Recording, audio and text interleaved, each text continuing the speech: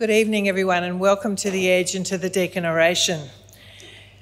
I wish to begin by acknowledging the Wurundjeri people of the Kulin Nation, the traditional owners of the land on which we are gathered today. We pay our respects to their elders and ancestors for allowing us to have our gathering on their land, acknowledge their continuing connection to this beautiful country, and thank them for their care and custodianship over many thousands of years. I extend this respect to any Aboriginal and Torres Strait Islander people joining us today. Education has a long and rich heritage on this continent, which we aim to honour and reflect in the ways we teach and learn. And now we would like to show you an Acknowledgement of Country video produced by the team at Deakin University.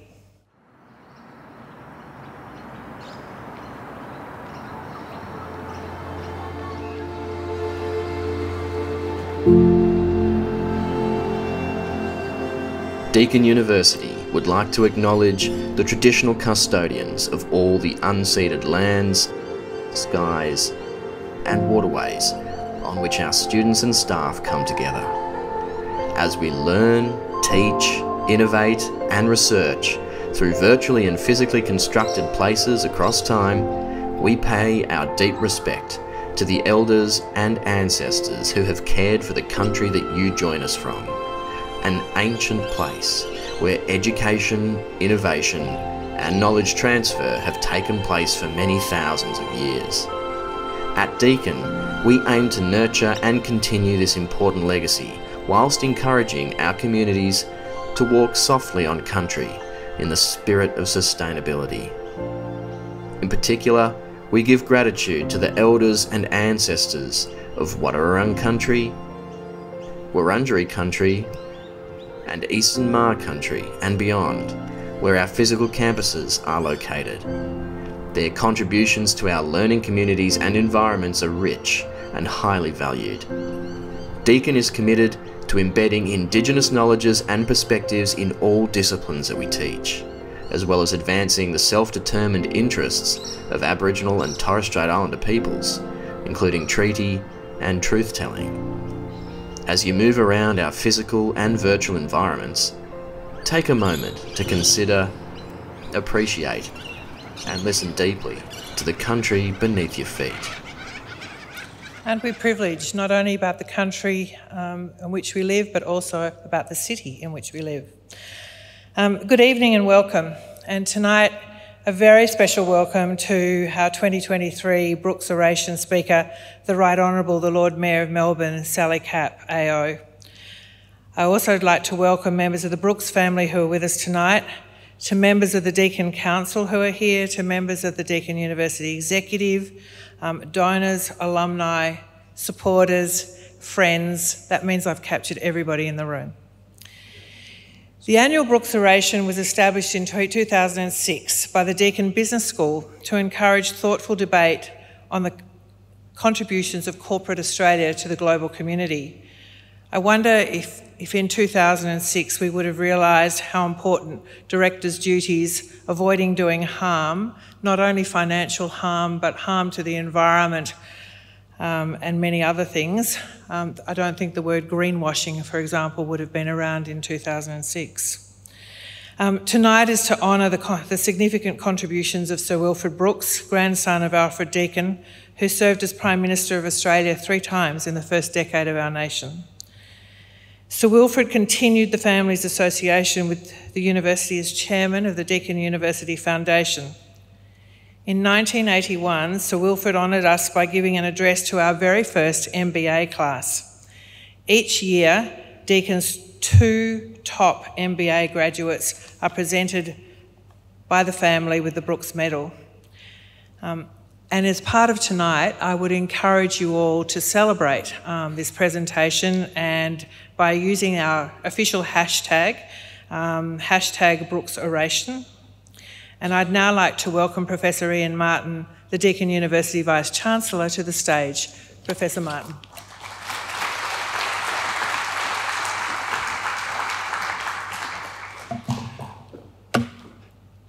Thank you very much indeed, Jenny. Uh, it is a great pleasure as Vice Chancellor to be here tonight. Um, in opening, I want to acknowledge that our wonderful city is on the unceded lands of the Boon Wurrung and Wurundjeri people and celebrate their incredible contributions over tens of millennia. Welcome to Deakin's Chancellor, Mr. John Stanhope, members of our University Council and Executive, and as Jenny said, everybody else in the room, friends and supporters of Deakin University. But I'd particularly like to reiterate my gratitude to the Brookes family for their ongoing support of Deakin University, but also personally their support and engagement with me.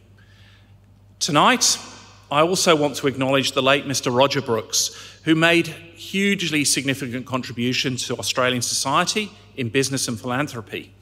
And this event certainly reflects Roger's lifelong passion for the ongoing of betterment of society and its institutions. Roger is absolutely with us in spirit tonight. As Jenny said, the Brookes Oration is a much anticipated event in the university calendar. And tonight, we're absolutely privileged to hear from Melbourne's Lord Mayor, Sally Capp AO. Sally has an impressive career to date. In October 2020, she was re elected Lord Mayor of Melbourne, having previously been elected in May 2018, and in doing so became the first woman to be directly elected as Lord Mayor. There is nobody in this room who would not see Sally as a passionate advocate for this fantastic city. Her priorities include setting the pace and driving a prosperous city economy, helping rough sleepers get more support in the pathway into secure housing, and ensuring Melbourne remains a global leader in environmental sustainability. She's absolutely committed to seeing Melbourne reclaim the title of the world's most livable city. She's currently chair of the Council of Capital Cities, Lord Mayors, and also a member of the federal government's Urban Policy Forum. In 2023, she was appointed an Officer of the Order of Australia in the King's Birthday Honours for distinguished service to the people of Melbourne, to local government, to business, and to the community through various organisations. And anyone who sees Sally's prodigious workload know the contributions she has made to all of those. In 2019, she was named the McKinnon Emerging Political Leader of the Year and was the first woman to hold the post of Agent General for Victoria in the UK, Europe, and Israel. She served as the CEO for the Committee for Melbourne and Victorian Executive Director of the Property Council of Australia. Well, up till now, everything's fantastic. Unfortunately, she's also a passionate Collingwood Football Club supporter, and she made history in 2004 by being the club's first female board member. and she tells me she's pretty nervous for this week. Um, Sally began her career as a solicitor after completing law, ons, and commerce degrees at the University of Melbourne. She's held senior, senior roles at both KPMG and ANZ and co founded a small business which she took to the ASX. She's involved in a number of charities and sits on the board of the Olivia Newton John Cancer Research Institute, the Mary Jane Lewis Scholarship Foundation, and the Melbourne University Faculty of Business and Economics. I could go on. Sally's contributions are prodigious. I do not know where she fits it all in. But on the topic, do cities matters anymore? Please can I welcome to the stage to deliver the 2023 Brookes Oration, the Right Honourable, the Lord Mayor of Melbourne, Sally Capp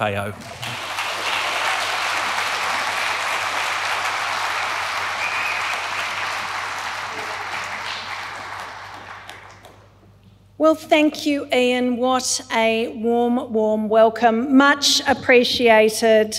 Uh, and it really is an honour to be with you all this evening giving this year's Brookes Oration. We are here at the Edge. We're on the lands of the Wurundjeri Woiwurrung people. And on behalf of everybody who lives and works and plays and visits the city of Melbourne, I pay respects to elders past and present. And I'm voting yes.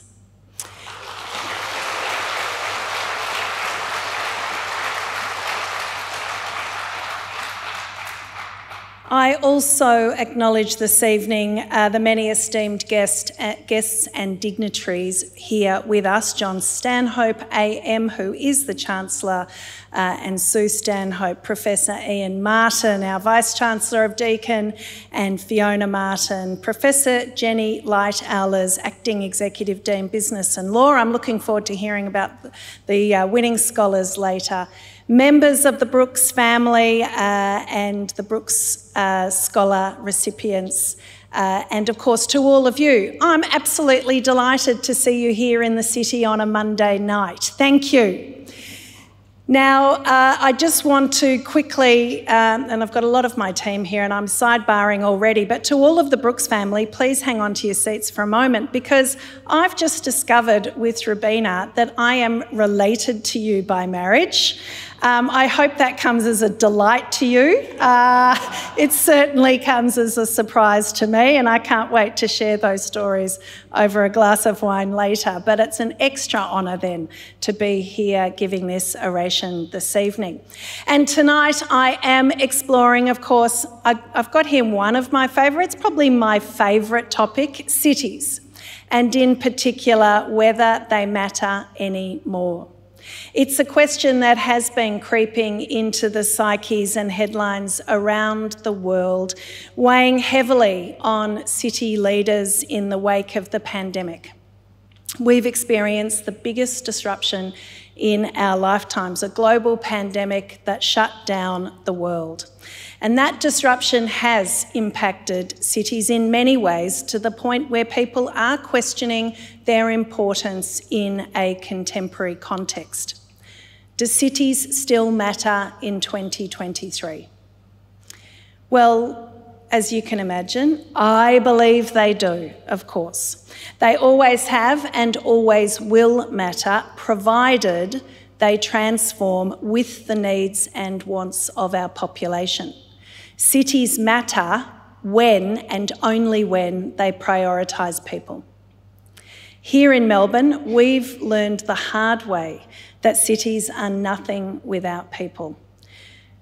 So, how do city leaders deliberately build cities as magnets for people? Cities that leapfrog these deep shocks that are experienced from time to time to unlock opportunities and to ensure that they matter more than they ever did before. The history of cities provides us with a good roadmap. Did cities matter prior to the pandemic? Well, think about yourself pre COVID and how you interacted with the city. Did the city matter to you? It's hard to see you all. I hope you're all nodding your heads because I say, at a quick glance around this room, I hope I can assume that the answer is a resounding hell yeah, this city mattered. It's been a global phenomenon over centuries that people have coalesced around metropolises. These are the places that generated the innovation and activity that has driven human development. Now, that's evident on the banks of the river just behind us this evening, where a semicircle of metal shields represents the five groups of the Kulin Nation, signifying that Melbourne, Naarm, has been an important gathering place for Aboriginal people to discuss matters of importance for tens of thousands of years. And it's evident across the world too. Ancient Roman cities were places to discuss and debate, debate, to trade, to be educated, be entertained, admire arts and cultures, and eat. All aspects that still make for a truly great city today. Whether it be a natural disaster, war, plague, fire, or disease, historically cities have had to evolve and change with severe shocks. Indeed, I think there's a responsibility to do so, to ensure that a crisis does not completely defeat a community, but rather that it can gather strength and knowledge to become better. The New York subway, the busiest in the Western world, was built after the Great Blizzard of 1888 that halted all rail and road transport. The Great Fire of London in 1666 led to an overhaul of town planning to address poor living conditions. And whilst we don't welcome a crisis, history shows us that these types of shocks have necessitated an adjustment, often an innovation for the better. This imperative to adapt, to become better, is what consumes city leaders now as we advocate for better post pandemic cities. What we've experienced over the past three years may be unprecedented in modern history, but cities have experienced shocks before and kept growing and kept holding ground as the centres of civilisations. Now, I remember being at the committee for Melbourne in 2007 when it was proclaimed that there were officially more people living in cities across the world than in rural and regional environments. It was the first time, the tipping point of more people in cities. And that figure has continued to trend upward with more than 4.3 billion people living in urban areas in 2019. But why? What is it that draws people to cities, and are those factors still relevant today? Now, I believe that cities that continue to evolve uh, and refuse to be one dimensional are the cities that survive and remain as magnets for people. Cities, historically, I believe, were multifaceted. They have had that magnetism. They have been places where people can work, learn, create, live, and play as individuals and in groups. They were places that attracted great wealth, but also offered opportunities for those who came with nothing. They were places to discover, connect, and collide, to collaborate and create, to experience and share, to care and heal places for innovation and socialisation, for forming community identity and providing a platform for individuals to flourish. Cities were all of this and were fundamental in the development of human civilisation. It made me ask what would not have been invented if we didn't have cities? Writing and papermaking developed in the city of Nanjing steam trains that developed and prospered in Liverpool and Manchester. And in Melbourne, this great civilisation, we've invented Wi Fi, the first feature film, the eight hour workday, and the first frozen embryo. Amazing. I could add Vegemite and Aussie rules, but I'm not sure the world would thank us for those inventions at this point. But seriously, Melbourne has been a powerhouse city and was flying pre pandemic. In the decade prior to COVID, Melbourne had been named the world's most livable city for seven consecutive years. We were the engine room of the state's economy, the fastest growing city in Australia, and the fourth fastest growing in the OECD. Our streets and footpaths were bustling with a million people each day city workers, students, and visitors, both local and international. We were world renowned as Australia's best student city and its events and arts and sporting capital. People admired our street art and our art galleries, our libraries and our writers, underpinning our status as a UNESCO City of Literature, our universities, and our respect for learning. So I think it's pretty clear that cities mattered pre pandemic. But has that changed now? Has the pandemic changed the trajectory of the importance of cities? Well, today, some 56% of the world's populations continue to live in cities. In Australia, we've always been above the world benchmark, and we have almost 87% of our population living in cities, and 77% of Victorians live in Greater Melbourne. Just as was the case pre pandemic, this trend is expected to continue, with the urban population more than doubling its current size, its forecast, by 2050. This means that seven out of 10 people will live in cities in the next 27 years. Wow. And cities still account for the largest percentage of our economic output as a society. More than 80% of global gross domestic product is generated in cities. The City of Melbourne still accounts for 20% of Victoria's gross state product. Cities are the epicentres of infrastructure still. All roads, trains, and waterways lead to cities. Cities still have the best hospitals and schools, universities, and cultural institutions.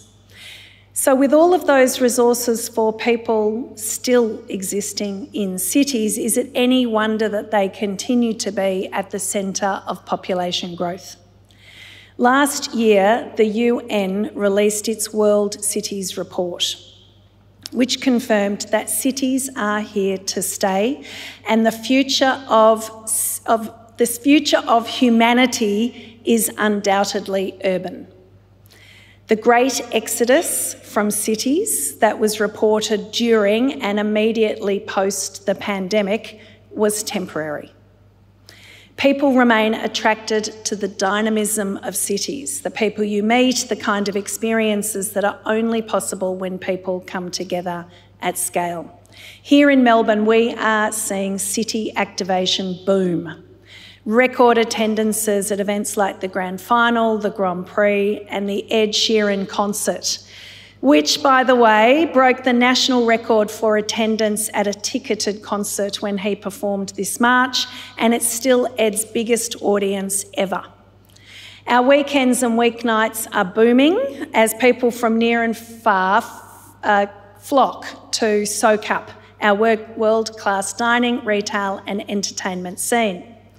And as of this year, we have been ranked Australia's best student city for nine consecutive years, even during the pandemic, with almost 100% of our pre pandemic international student cohort back in the city. All of these are great markers about the relevance of Melbourne. City confidence through investment remains strong here in the third most livable city in the world. Last month, I attended the opening of the uh, new head office for the uh, biotech giant CSL. $2 billion headquarters there on Elizabeth Street.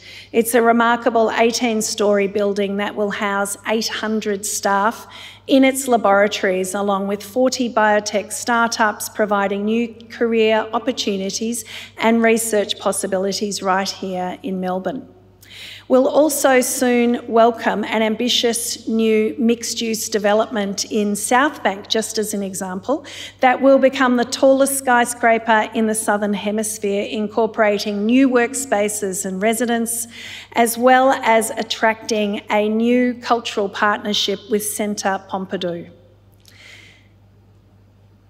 You know I'm head of sales because I'm going to keep going. There's also confidence in the future of our tourism industry. We've seen six new hotels open in this year alone, including the Ritz Carlton, which is currently Australia's tallest hotel. The economy, like our skyscrapers, is soaring. Melbourne's early stage startup ecosystem also growing 43% in the past year alone to $37 billion, and the entire Victorian uh, startup ecosystem, which I acknowledge, Deakin, has so much to do with driving, not just here in Melbourne City, uh, but in Burwood and particularly in Geelong, is now valued at more than $90 billion. Congratulations, everyone. Now, this means that our gross local product here in the city of Melbourne alone is exceeding pre COVID levels, something that, if you'd told me during COVID, would have knocked me over with a feather. Pre COVID, we hit a new record high in our gross local product of $104 billion. And despite the disruptions of the pandemic, where we saw massive drops in our gross local product, last June, the June just gone, we hit $114 billion in gross local product. That represents the economic activity of everybody in this room. Now, similar growth trajectories have us on track to meet our forecast for this year $120 billion by the end of this financial year, and to achieve our aspiration in our economic development strategy of a $150 billion economy by 2031. Simply extraordinary. And we are seeing similar economic activity in major cities around the world. I'm lucky to check in with mayors of other major cities regularly, and I can tell you that my fellow mayors in cities such as LA, Paris, and London have said that they've had a very busy summer of tourism, a lot of Aussies, I think, uh, but that this economic activity means that they are returning their focus post stimulus uh, into long term initiatives such as responding to climate change and affordable housing. So, great economic uplift in cities around the world. So, with all of this, with that great list I've just given you of what's been happening here in Melbourne and cities around the world, why does this question persist of whether cities matter anymore? I think it's because in this post pandemic world, a city's worth has been reduced simply to the number of workers back at desks. And I'm saying that this fails to capture the many reasons why cities have always existed and always mattered. Now, this could be contentious, but who's seen the Barbie movie? Couple of hands up, brave people in this uh, auspicious audience. Uh, well, I have, and I can't help but think of the character Ken. His job is beach, and he does beach well but it's so limiting. And he spends the movie railing against this stereotype. He wants to be more than just Ken. And cities want to be more than just central business districts because cities aren't just for work. Those cities that have flourished over the centuries never were just about work. And we've seen the demise of cities, uh, one well reported one, such as Detroit, that were only about work. But I'm glad to say that Detroit has reinvented itself to the point where it's hosting a World Economic Forum conference this year focusing on transformation of cities. So, a good city is not just one thing, it's not just a central business district. But I do acknowledge that cities as drivers of economic possibilities remains important and I think that is still central to the future of cities. So let me take you through a couple of things. I think that's why the obsession about cities mattering is understandable. This focus on a central business district without focusing on the diversity. And the biggest impact we've had since COVID has been on the ways that we choose to work into the future. We were stuck in a nine to five, Monday to Friday habit, weren't we? The pandemic changed the need to be present in the workplace, changed the working rhythm of cities everywhere. Technology wasn't entirely new, but lockdowns forced its full adoption across our workforces. And now people are exercising the choice that technology made real. Employees can now choose a more flexible approach to where and when they work. Monday to Friday, 9 to 5 is so yesterday. But what is the working cadence of today? We are no longer the city of corporate conformists that John Brack depicted in his seminal painting Collins Street, 5 pm, which hangs in our beautiful National Gallery of Victoria. And so it's no wonder that commentators and critics are now questioning what remote work means for cities as central business districts. The two parts to my answer to this this evening uh, are what we have seen emerge so far. In the first in- instance, I am calling it tonight a workforce that works from home full time was a lockdown phenomenon that has not survived in a post lockdown environment. But we are experiencing an evolution in flexible working. Just like past shocks, I predict that cities will adapt and thrive to this new way of working. Pleasingly, Melbourne led the charge to adjust to an eight hour workday. That was a big change. And we are now adjusting to a flexible working environment because this allows people to have greater autonomy to prioritise doing what matters to them when and where it suits their lifestyle. And as city leaders, we can't control what happens inside workplaces, but I know that business leaders are attending to those matters with some urgency now. And their conversations are more nuanced than ever before. Type of work, demographics of employees, needs of clients and customers, relationships with stakeholders and suppliers, ability to learn on the job, and differentiated workplace culture, to name a few. As an employer, the City of Melbourne, we're having exactly the same types of conversations with our team. But there is also, we feel, a new appreciation for the value of in person, in workplace time. Collaborate, create, invent, learn, practice, socialisation, and that list goes on too. While each individual workplace needs to establish its own rhythm, city leaders must facilitate the other things that matter to people so that cities offer a unique and compelling place to work and a place to come for the best healthcare, the best education, the best experiences outside the workplace to complement what happens inside the workplace. There is a symbiosis that exists in cities, but the balance has shifted, there's no doubt. More than ever, cities need to be relevant to different people at different times for different reasons. And this is the best approach, we think, to a vibrant city. It's not about just one thing, it's about everything. A place where people want to be, not a place where people are forced to be. And this includes being a great place to work because we need cities to remain the epicentre of economic activity that have halo effects for regional and rural areas. Renowned American urbanist Richard Florida famously writes about the clustering of people and productivity, creative skills and talents that power economic growth. And Nobel Prize winning economist Robert Lucas identified the concentration of people and ideas in cities as the most fundamental force behind innovation and economic growth. There's no reason to think that the same tendency to cluster will be all that different in a post pandemic world.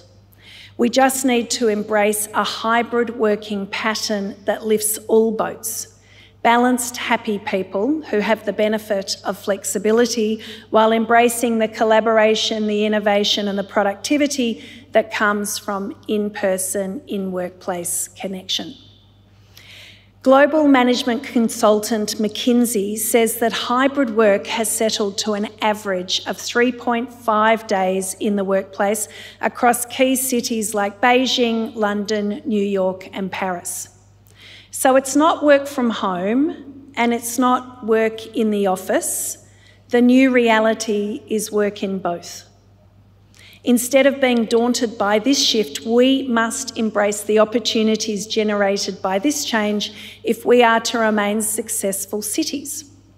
In terms of the most immediate area that requires adaptation, most of the focus falls on the extra spaces that flexible working creates in city buildings? It's my most often asked question at the moment. And when I see vacant office space and empty shop fronts, I still get a shiver of concern. But these spaces also represent an opportunity if we, as a society, are more deliberate in how those spaces get filled. At the City of Melbourne, we will continue to champion a city with full occupancy of office and retail spaces, bursting with activity. I'm a seven day a week kind of gal. But we should be encouraged about the startups, the creatives, and the emerging sectors that can now come into city spaces when pre pandemic it was full. For instance, with its world class innovation research and development sector, Melbourne has a competitive edge to establish a flourishing zero carbon jobs cluster. Economists suggest that the transition to net zero will deliver up to $680 billion to the Australian economy if we grab this opportunity, and that could create an additional 250,000 jobs.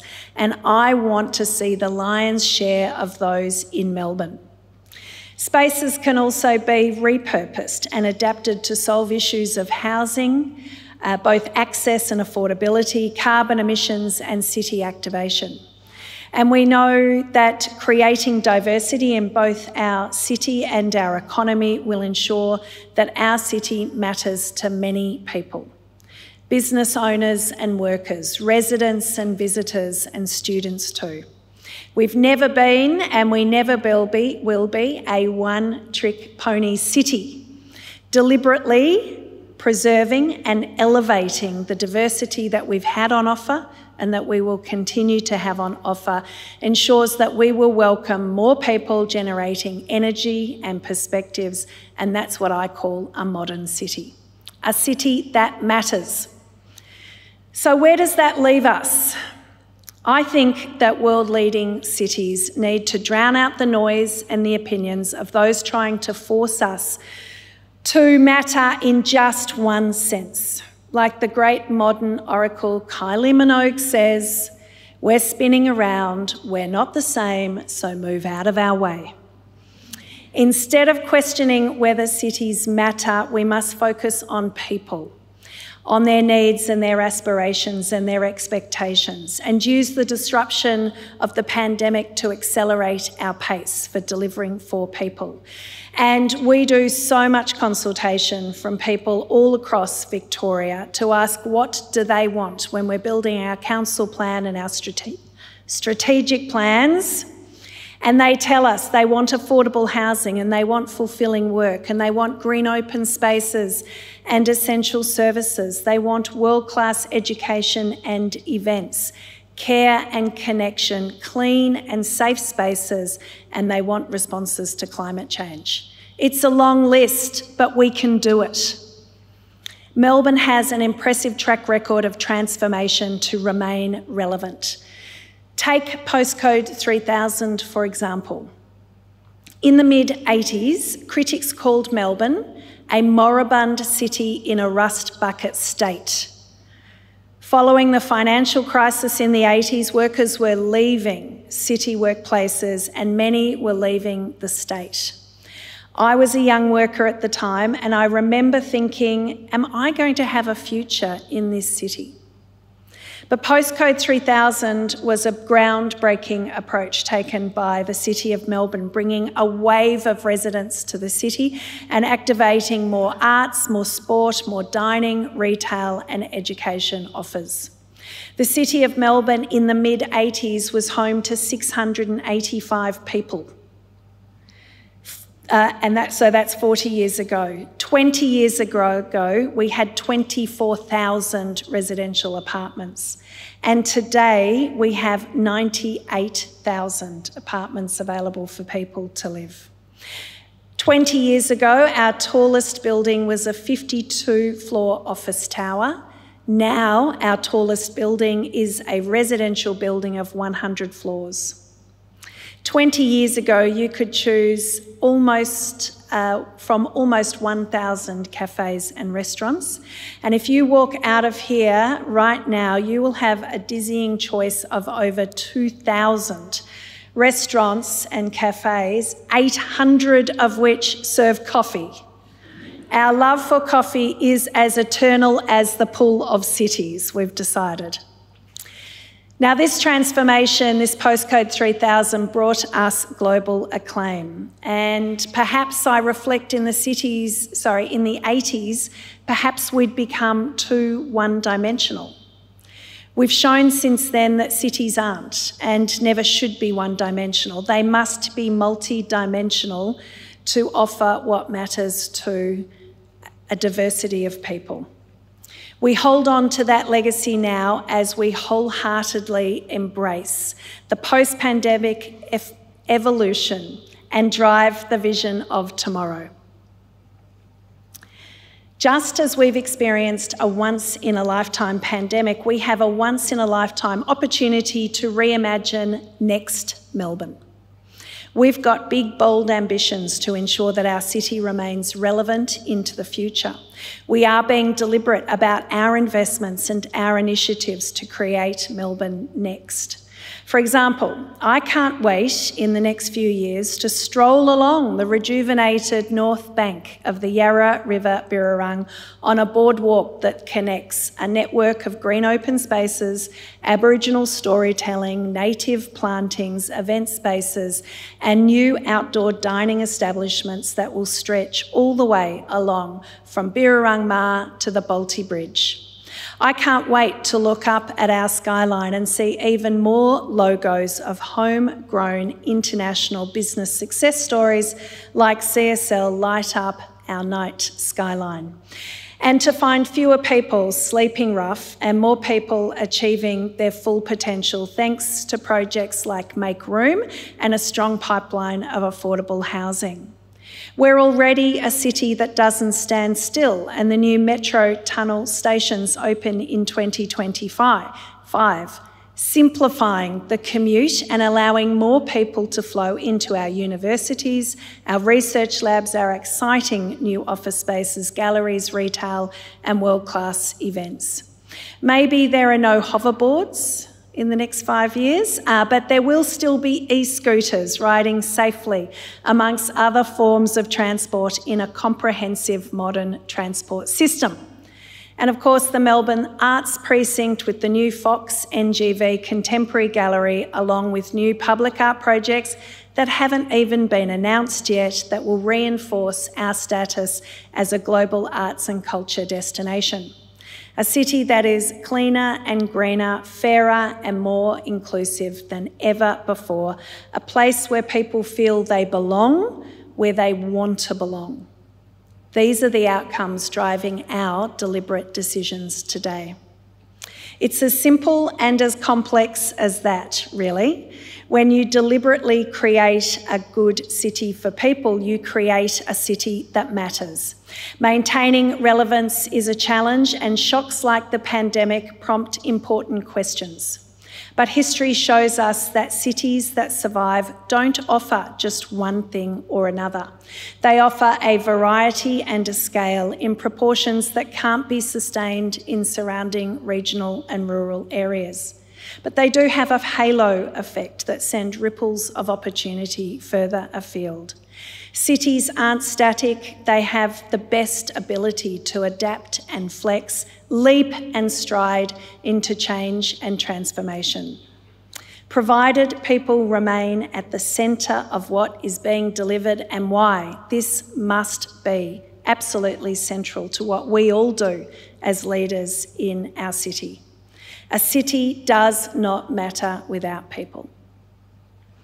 The pandemic brought us this sharp fact uh, and in the most extraordinary, extreme ways. And maybe that's what this question demands of us to remember that cities will always matter if leaders make decisions that are in the best interests of people and humanity. We're not looking back, we're looking better because Melbourne matters. Thank you.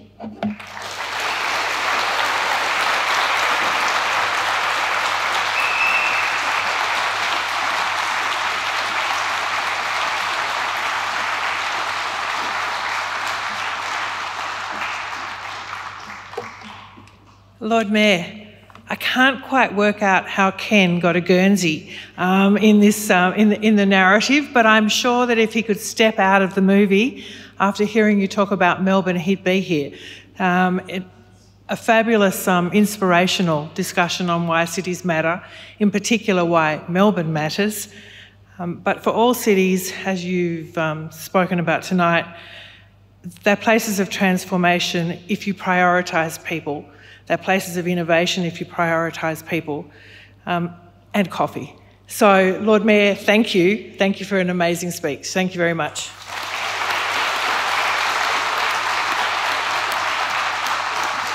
I'd like to now invite the Lord Mayor Sally Capp and Professor Martin back on stage for a final thank you.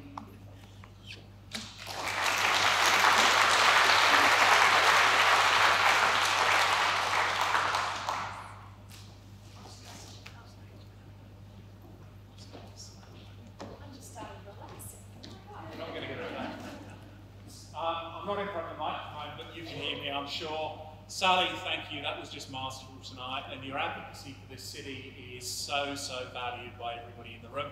And on behalf of Deakin, just a few flowers to say thank you so much for honouring us tonight. Thank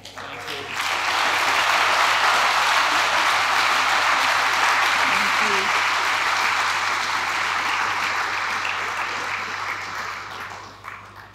And just before I let you go out to explore the city, um, and to check out some of those bars, coffee shops, restaurants, and other things that are within walking distance of where we are. Um, tonight is about what um, a donation, a foundation, um, a legacy can actually do to support our students. And you've seen it tonight with um, our award winners, Sherry and Lauren. Um, and donations make a difference to lives. So if you would like to understand more about leaving a legacy um, to Deakin like Roger, apparently, if you take out your mobile phones, um, we're not spying on you, but you'll be able to view a QR code on the screen, um, and there is an opportunity for you to actually investigate more what opportunities there might be for you to create a legacy within Deakin too. Um, but in the meantime, thank you. Um, thank you, um, Lord Mayor a lovely oration. We do have people here from Geelong, so I'd like to make them feel a little bit included as well. Um, but cities clearly matter. Thank you very much.